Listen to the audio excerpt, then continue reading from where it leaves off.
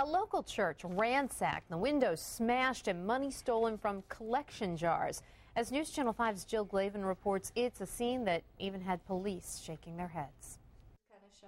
This, this is my office. You can see they smashed the door in there. Pastor Stephen Lone got to his church Wednesday morning to find things torn apart. Two or three of the uh, rooms have been broken into, and the window on the outside of the church has been broken into. Police believe burglars hit the Three Steeples Methodist Church in Champlain overnight. Investigators say the suspects got in through this window at the back of the church. It's a window the church had just replaced. And it wasn't just the window. Suspects took the change out of charity jars and left the empty jars behind. It looks to me like they just came in and got what they could get, grab and, and got out again. Stealing from the church's collection even has investigators shaking their heads. We've had various uh, commercial, residential burglaries, but uh, the uh, uh churches seem to have been avoided lately. Teachers at the Head Start program uncovered the break-in. They were forced to cancel their classes on Wednesday. Approximately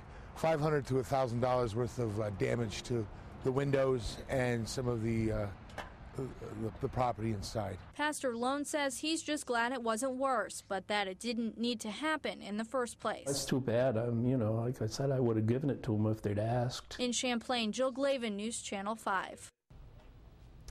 The Head Start program will open again Thursday morning, and anyone with information is asked to call state police. The number is 563 3761.